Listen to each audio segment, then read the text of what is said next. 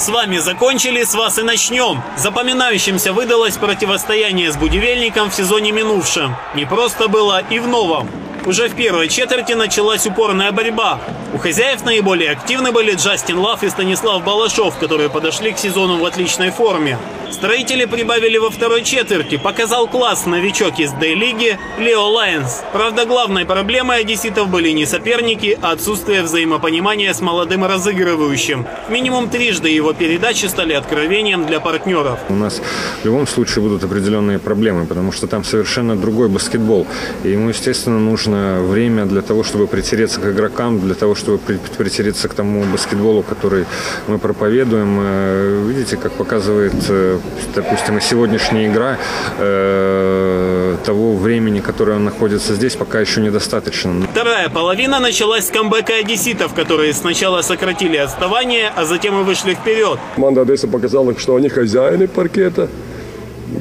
Моментами контролировали ход встречи и сравняли счет, и потом уже началась нервная игра. Ну и концовке, благодаря, может быть, таким чуть-чуть таким удачным заменам. Начались качели, хотя чуть увереннее чувствовали себя гости. Привел их в чувство трехочковый бросок Ростислава Кривича, который вернул интригу. Увы, устоять не получилось. Минус три и последняя атака в исполнении одесситов. В последнем тайм-ауте было взаимодействие, в котором э, многие игроки могли получить мяч на трехочковой линии.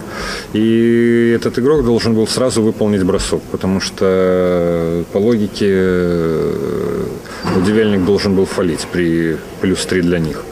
Мы все сделали так, как планировалось. Джастин получил практически свободный после хороших заслонов в углу, но это спорт. Джастин Лав промахнулся, подбор остался за гостями, которые оформили победу с пятиочковым преимуществом. В любом случае, я очень счастлив, честно скажу, что могу отсюда уехать победой. Будивельник отправился в Южный, а акулы поджидали новых соперников. Одесса с Киевом всегда борется до конца. Вслед за Будивельником в гости к акулам приехали волки. Приехали и кусаться начали с самого старта. Под Одесским кольцом доминировал Джаред Джонс, сдержать которого не удавалось ни Балашову, ни Ханту. Неудачно начал игру Джастин Лав, нахватавшийся фолов. Его место занял Ростислав Кривич и сразу отправил две трешки в кольцо соперников. По итогам 20 минут матча акулы с огромным трудом вышли вперед на расстояние в один дальний бросок.